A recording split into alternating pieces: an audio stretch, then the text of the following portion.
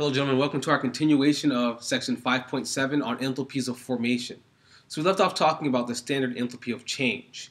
And the standard enthalpy of change denoted by delta H naught of a reaction is defined as the enthalpy change when all reactants and products are at their standard states. A reminder, standard states means that you're at a pressure of one atmosphere, you're at room temperature, which is 25 degrees Celsius, also 298 Kelvin, and at room temperature, you're at the state of matter, that your particular element is at, at room temperature.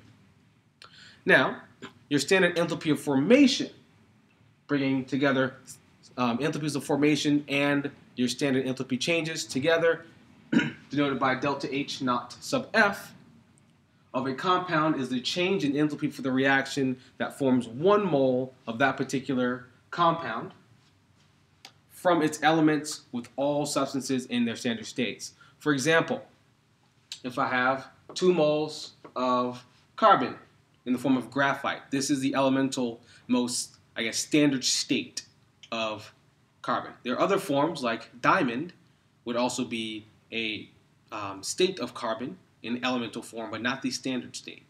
The standard state is graphite.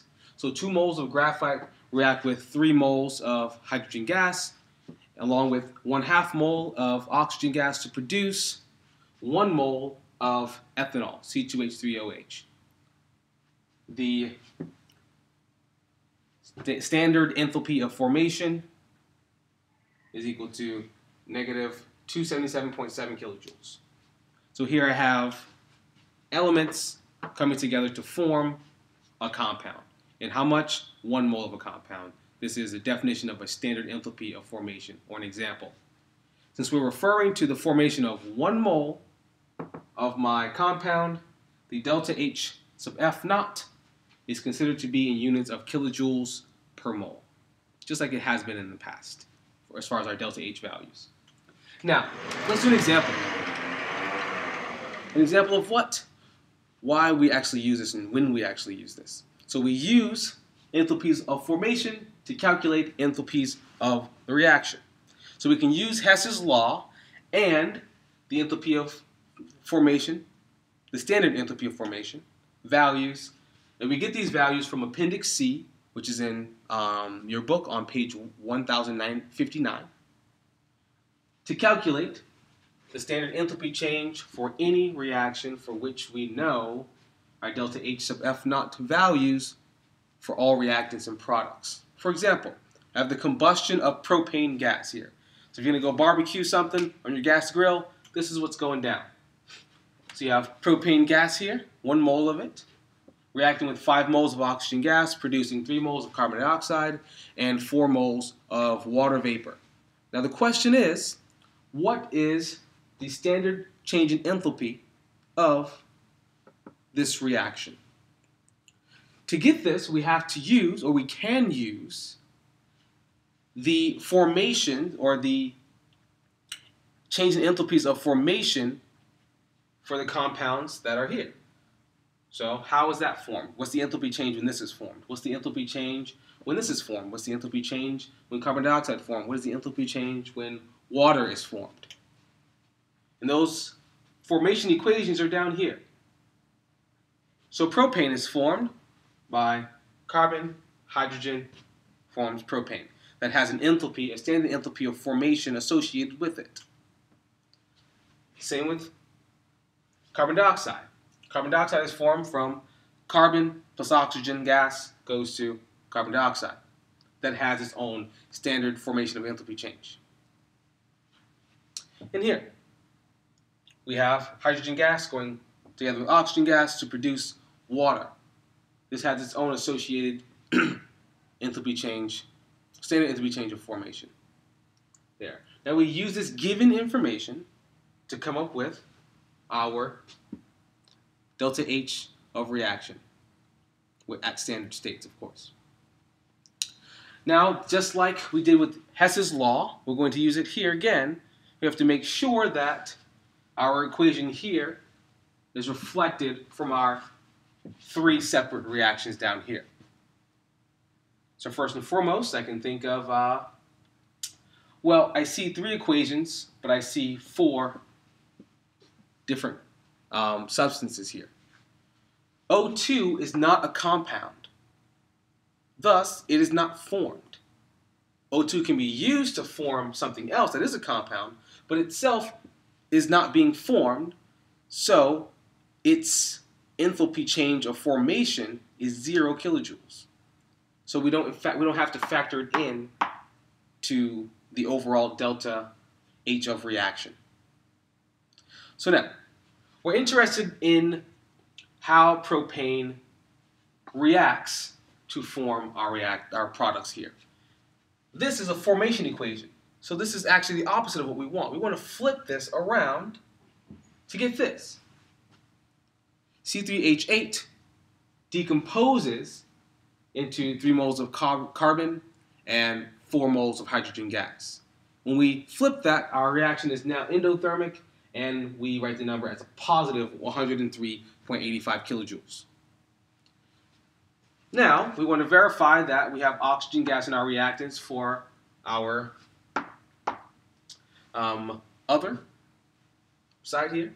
And we should, because it's formation reaction. We should have our elemental components here and our compounds over here. So oxygen as an elemental component, it's here and here. That's great. And on this side, we have carbon dioxide and water. We want carbon dioxide and water on this side of the equation as well, and we do, carbon dioxide and water. Now, to fix a few things, we have three moles of carbon dioxide here, but we only have one here. These have to reflect one another. So we do that by changing this chemical equation here. We add the coefficient of 3 to all so that these can match up because this number here reflects only the enthalpy change of one mole of carbon dioxide being produced. So if we put a 3 here, it will reflect the 3 that we need up here. So now you multiply this times 3, because as an extensive property, enthalpy will depend on the amount of carbon dioxide that we have as well. Now, our carbon dioxide, we have three moles here, three moles there. Those match both in the product side. That's great. Now we have four moles of water here. Down here we only have two moles.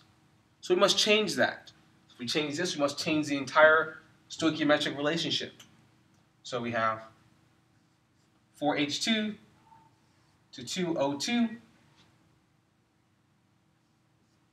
to 4 H2O. I just multiplied everything times 2, all my existing coefficients that were already there from the original balanced chemical equation. I multiplied all those times 2, so I must do the same thing with my enthalpy of formation at standard state. Because again, enthalpy is, is an extensive property. Alrighty, and that's reflected over here now. Here's my new chemical equation. Here's my corresponding enthalpy for that chemical equation. All I did was multiply this times 3. And I get this number here, negative 1180.5. Same thing here, multiply this times, sorry, it should be a 4 here, not a 2. Be 4 because I have 4 moles of water. So 4 moles of water, negative 288, 285.8 times 4 gives me 1143.2 because we're talking about 4 moles of water, so we need 4 times the enthalpy. Because that was the original enthalpy of just, this is the enthalpy of, sorry, the change in enthalpy of 1 mole is here. This all represented 1 mole. Since I have 4 moles, I multiply this times 4. All right, so I have my delta H1 of my first reaction, delta H2 of my second reaction, delta H3 of my third reaction. Now, I want this to be my final reaction. So, I'll see, to see what cancels out according to Hess's law. So, C3H8, that's great. We need that on our reactant side. We also need O2 on our reactant side. Here and here. What we don't need on our reactant side are our moles of hydrogen gas and moles of solid carbon. So, the three moles of solid carbon on this side and the three moles of solid carbon on that side cancel. as well as the 4 moles of H2 here and the 4 moles of H2 here cancel, leaving us with only 1 mole of C3H8, which is what we want, and 3 moles of O2 plus 2 moles of O2, giving me 5 moles of O2, which is what we want. So we're on the right track. In our product side, we have 3 moles of carbon dioxide and 4 moles of water. Those are also what we want in our product side. So now we are ready to add up all of our individual enthalpies of formation for the reaction to get our overall delta H naught of the reaction. Now here, when we do that, so we get delta H naught of the reaction is equal to delta H1, delta H2, and delta H3 all added together. When we do that, we get negative 2,220 kilojoules. Now, a simpler way of doing this is through this equation. It's the same exact thing, but we can do it in a very more, a lot more concise manner or way. The delta H naught of the reaction is equal to the sum, this little big E here is a, the sum of the number of moles of the changes in enthalpy of formation at standard states of your products minus the sum of the number of moles times the change in enthalpy of formation at standard states of your reactants. So take note of this. Next class, we'll work with this equation and learn how to use it properly and get the same exact answers as we got up here. Thanks, gentlemen.